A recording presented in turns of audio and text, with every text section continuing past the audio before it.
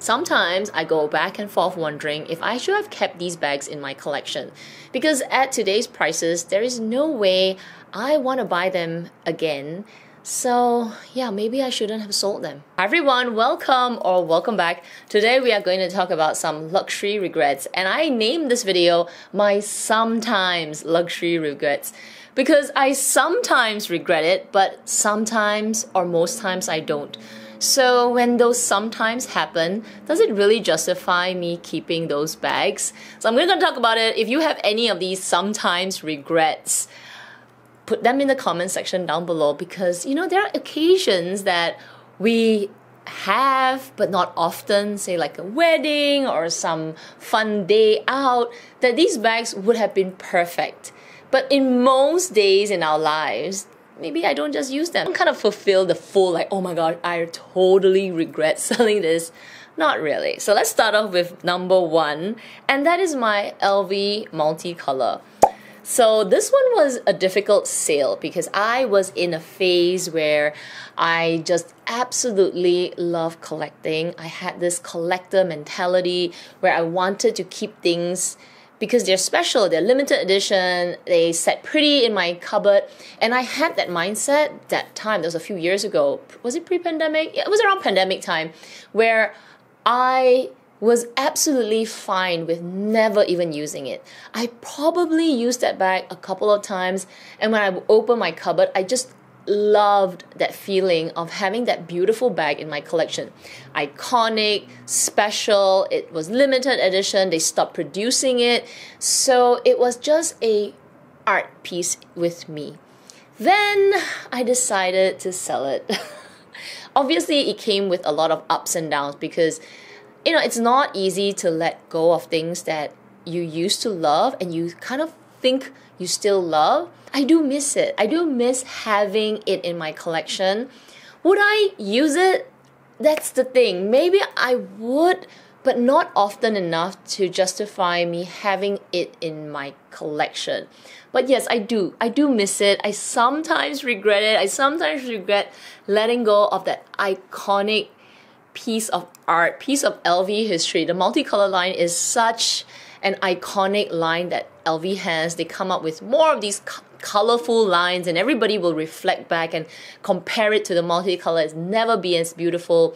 And my LV multicolor Speedy was perfect. Okay, it was a, it was practically a new piece, and it was uh, so. Which is why it is in my sometimes regret pile. You know, if I still had that bag today, it will probably still be sitting in my cabinet as a on its pedestal for me to enjoy. But I guess I'm not that kind of person. I thought I was, but then, you know, I grew up and I changed my taste and my preferences. So I'm glad I let it go, but I, I do miss having it. The second handbag that I sometimes regret, out of nostalgia and also out of the fact that it's so expensive now, makes me kind of wonder if I should have just kept it. And that is the Chanel Jumbo. It was when small bags were in, I was going for micro bags, and honestly, even before that trend, I wasn't reaching my Chanel Jumbo very much. I had a good four year, maybe almost five years with it of often using it. And it held a lot of sentimental value to me because it was the first handbag from Chanel that I purchased and it it was a lot of money.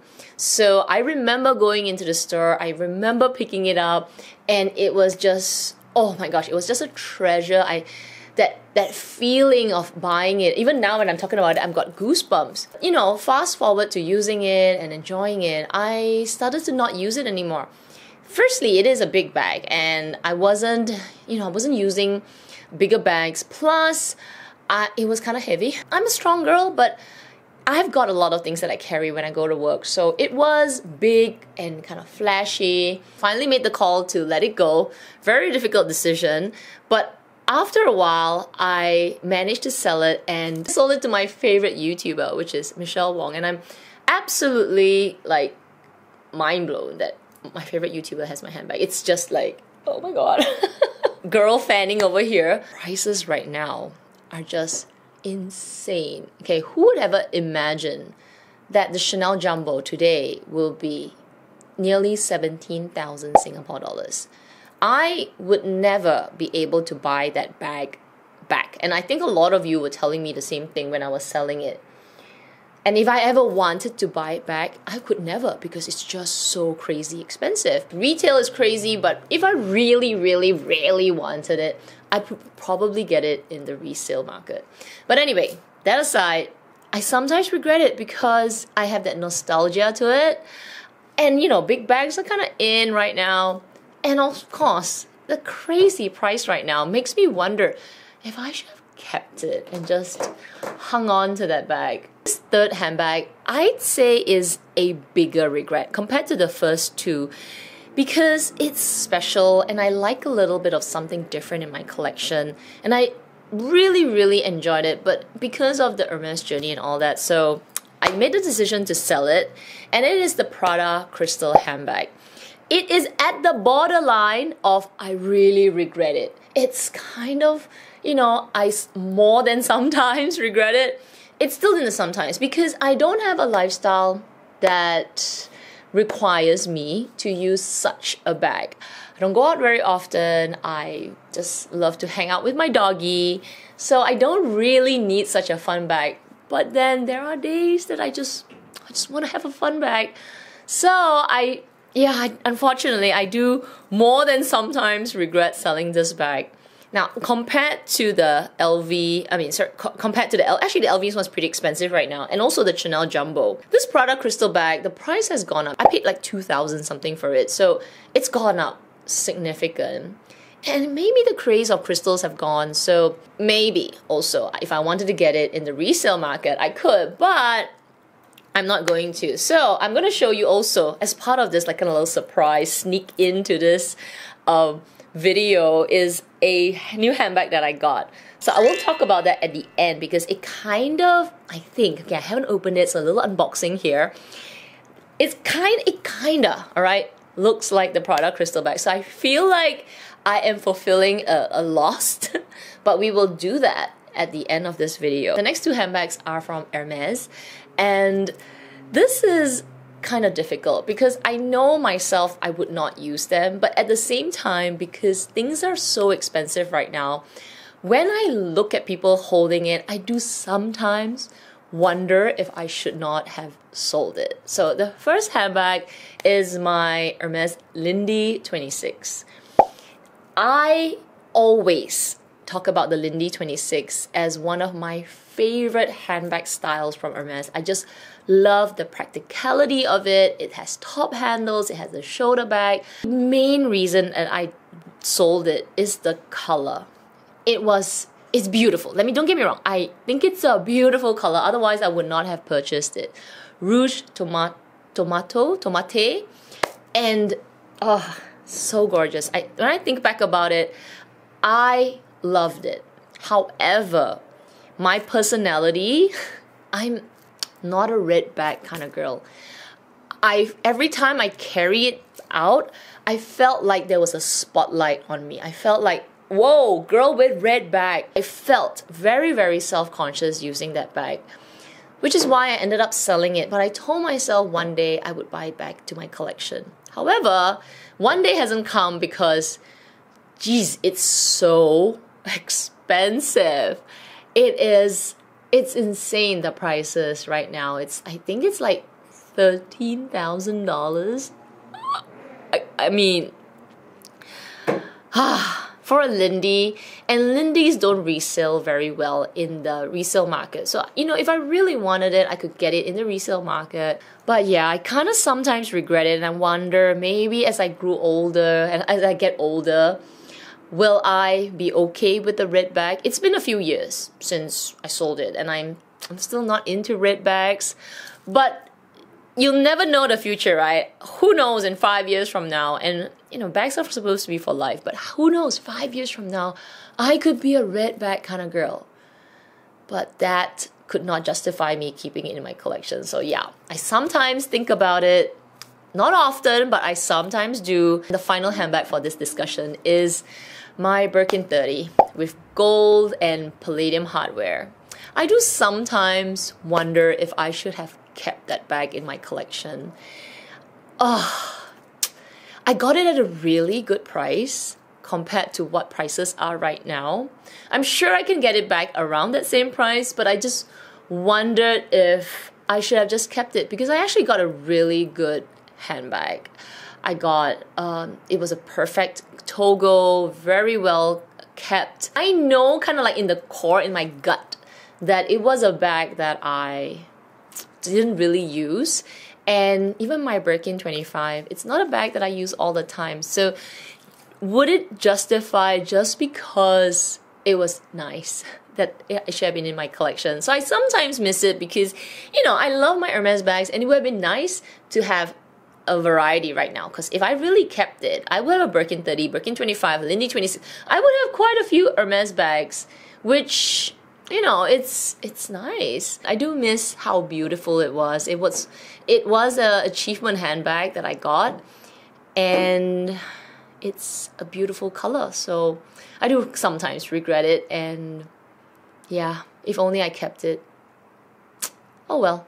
I am looking forward to reading your comments about your sometimes regrets. It could be shoes, it could be bags, obviously, or it could be jewelry, watches, any kind of luxury items, or even non luxury items that you do sometimes regret selling it, but they don't fall into the whole seller's regret, like you feel so remorseful. They kind of like sometimes they pop up and like, oh, if I should have kept it, that kind of feeling. So anyway, while you do that, let's do a little unboxing because this was this was interesting. I did a video with Aupen a few well, a few weeks ago where I shared the Nirvana handbag and I actually really love it. It's actually at the back. Oh, it was just let me just go and take it. Like I'm into this right now. It's understated. Nobody knows and I don't know. I just kind of am into less less known brands right now. So when Aupen um, contacted me again and said that you know they would love they watched my video and it was it was kind of nice that they watched my video and they said that you know since I talked about another handbag which I think Selena, Selena Gomez uh, wore which is beautiful bag I can't recall the name right now. I'll, I'll put it here. They said they'll send it to me and I was like oh my gosh really? But I told them that I don't think I have the lifestyle to justify me using it and sharing it on my uh, channel as well as on my socials. However, there was one bag that I thought, oh my gosh, this could fulfill my sometimes regret. And let me open it right now. I have not opened it, I was keeping it for this video. So, oh, oh my gosh. So let's open it together. And it's kind of like a chit chat plus an unboxing. So it is really similar, not exactly the same, but really similar to the Prada crystal bag.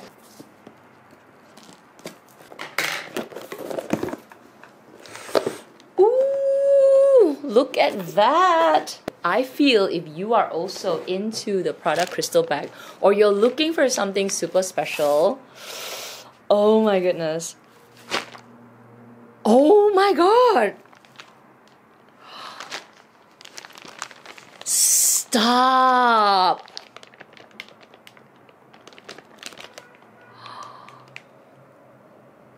God, what? Oh, oh my. I mean, who needs Prada right now, man? Let me take this out. Wow!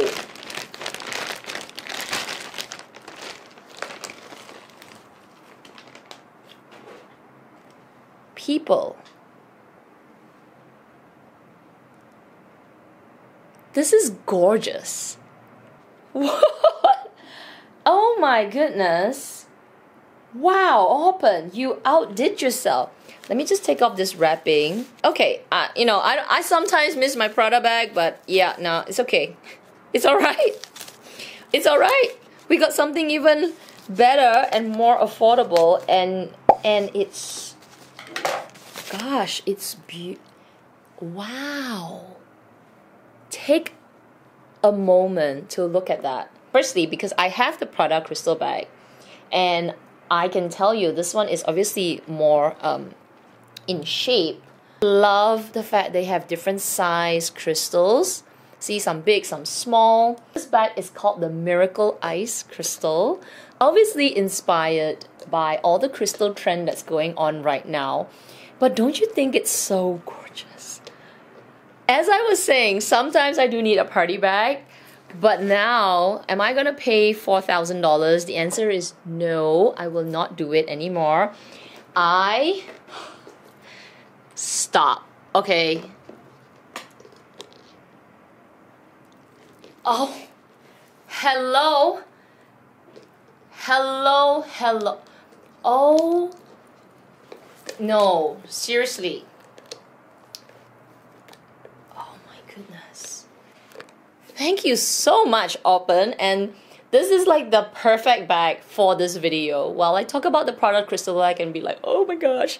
Now I got to add on a little unboxing and what? This is jaw-dropping. Okay, so anyway, coming back to the bag. So it's made like it has that satin material, nice silver zip, and then you've got another interior zip. Oh, not interior zip, like a little uh, slip pocket here. Just let me put my phone inside. I've got an iPhone 13. Yeah, obviously you could put it in, and you know this is a party bag. You would not be putting a lot of things inside, but I am really excited to use this and just play around with it. Go! Okay, so wow, thank you so much, Aupen. So I am going to do a video of this. So I will obviously do a more in-depth video because I wanted to show this when I spoke to Aupen and I said, um, well, the other bag is beautiful, but I would not do it justice. However, there is this one bag that I saw and I was actually ready to purchase it because of the Prada crystal bag. And I said, I think this bag would be more for me if you don't mind sending it. I would love to have it because it is like my Prada crystal bag and I've been I've been like going crazy sometimes, sometimes, sometimes, sometimes regret going on my Prada crystal bag. So when they say yes, they'll send it to me. I am not disappointed. If you decide to get the this bag, I will link it down below. I do have a discount code, not affiliated. They just gave me a discount code. I'll put it down there as well go and check this out before it goes viral. So apparently this Aupen Nirvana bag because a lot of celebrities are using it. A lot of the colors have sold out already. So I do have one more which is for a giveaway. So although I know I'll do that when I do the review of this bag. And they also sent me some earrings which I will do in my review video. So I'm going to keep this for another unboxing. But yes, thank you so much to Aupen. But yeah, wow.